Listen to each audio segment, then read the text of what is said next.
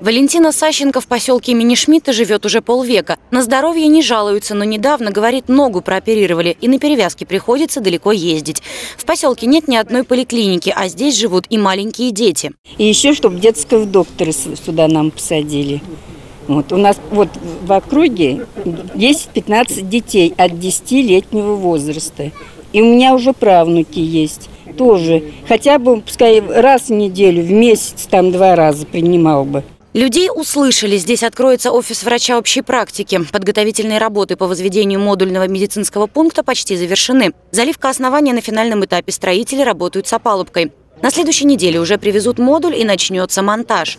Долгие годы для двух с половиной тысяч жителей поселка Шмидта вопрос получения медпомощи стоял особо остро. Порой железнодорожные составы перекрывают оба выезда, и в город просто не прорваться. Теперь для пациентов заработает здание на 150 квадратных метров. Я думаю, что нам э, район, город поможет, чтобы подключиться и максимально быстро, то есть чтобы здание у нас не стояло коробкой, а сразу функционировало с водой, с отоплением, с охраной. Врач общей практики будет принимать каждый день. Сейчас решается вопрос о графике, по которому будут принимать узкие специалисты. Работать начнут с сентября. Но кроме столь необходимого медпункта в поселке Шмидта есть и другие проблемы. Нужно ставить детские площадки. За летний период, вот за эти месяцы мы еще две площадки разместим. Но здесь, конечно, важно будет мнение жителей. Там будем работать с общественным советом.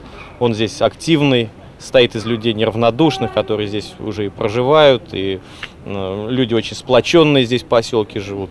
Поэтому выберем какие-то паритеты, и я думаю, что две площадки в ближайшее время здесь для деток местных появятся. Кроме того, здесь обещают открыть аптеку, привести в порядок дороги и благоустроить дворы. Марьяна Мирная, Алина Чемерис, Максим Гусев. События.